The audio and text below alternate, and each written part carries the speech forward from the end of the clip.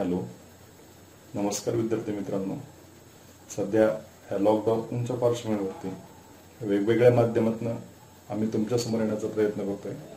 आणि त्याचाच एक भाग म्हणून आज आपण यूट्यूबच्या माध्यमातून केमिस्ट्री या विषयाच्या टीचिंगला सुरुवात करतोय. यामध्ये आज आपण केमिकल थर्मोडायनॅमिक्स या टॉपिकला सुरुवात करणार आहोत. या टॉपिक्समध्ये बऱ्याच गोषी अपने शिका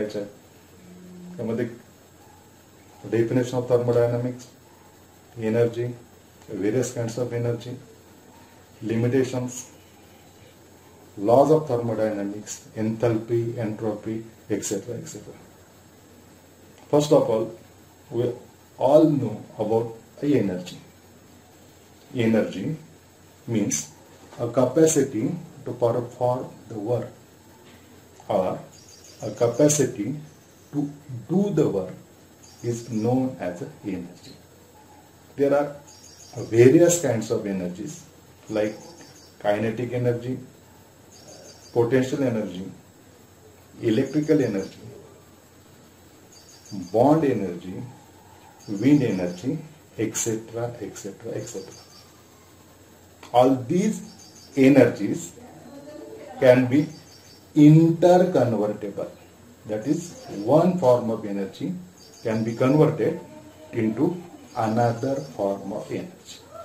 That is, energy can neither created nor destroyed, but one form of energy can be transferred into an equivalent amount of other form of energy. A thermodynamics is the combination of thermal plus a dynamic, that is a flow of a heat.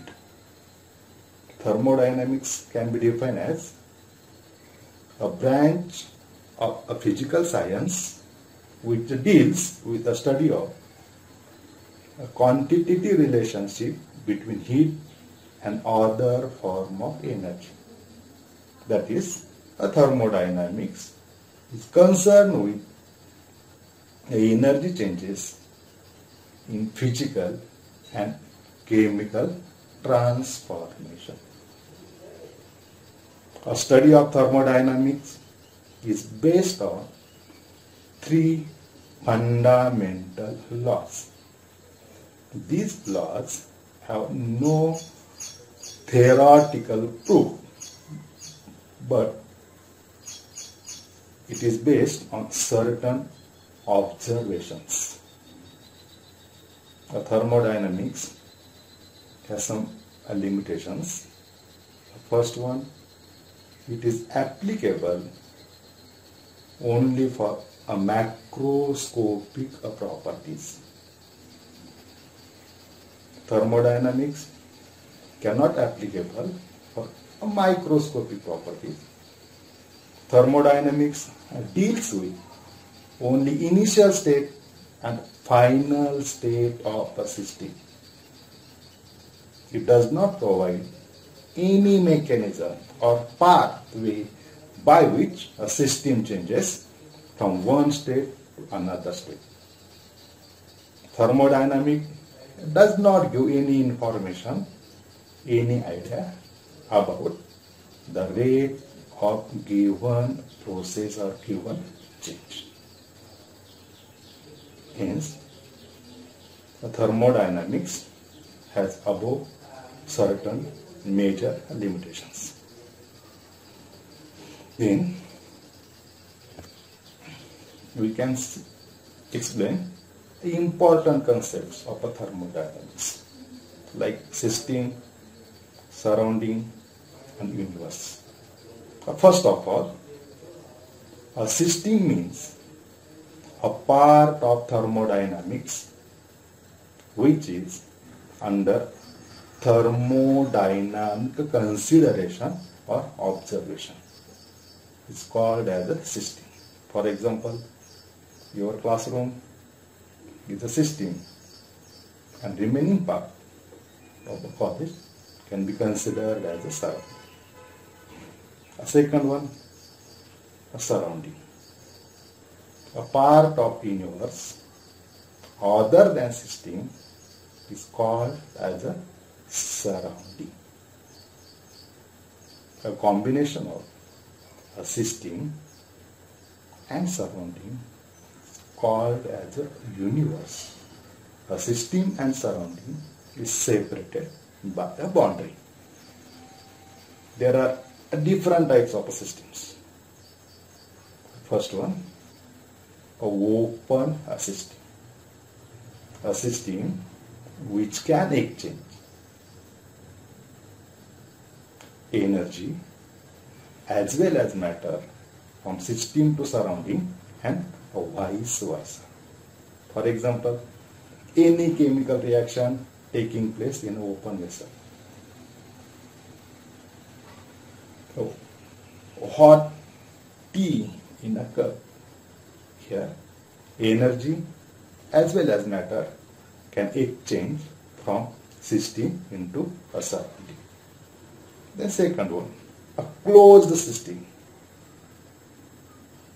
A system which can exchange only energy and not a matter from system to surrounding or a vice versa. For example, a hot tea in a cup covered by a lid. Here, only temperature can decrease, but matter cannot exist from system into a surrounding. The third one is isolated system. It is the system in which neither energy nor matter can exchange from system to surrounding or vice versa. That is, a system is thermally isolated from the surrounding. Hence, heat cannot exchange from system to surrounding. These are three main types of a system. That is open system, closed system and isolated system. Examples are the hot tea in a cup, a cup covered by a lid and tea in a thermos or thermoflask.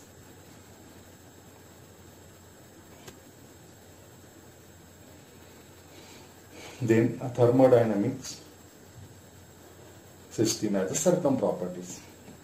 There are two kinds of properties, extensive property and intensive properties.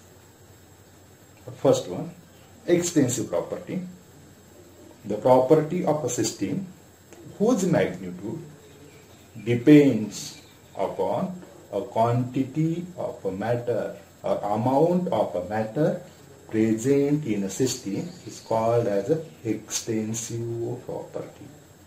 Once again, the property whose magnitude or value depends upon the amount of a quantity present in a system is called as an extensive property. For example, a mass as quantity increases, mass can also increases. Volume, heat, etc., etc. That is the property whose magnitude goes on increasing with increase in a quantity is known as an extensive property. While the property whose magnitude is independent on a quantity of a matter present in a system is known as intensive property. For example, melting point, boiling point, specific heat, refractive index, etc. etc.